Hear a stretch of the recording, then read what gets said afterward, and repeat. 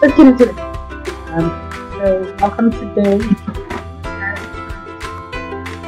Thank you so much in the description. You see the materials you today, of additional materials. So please just uh, bear with me on that.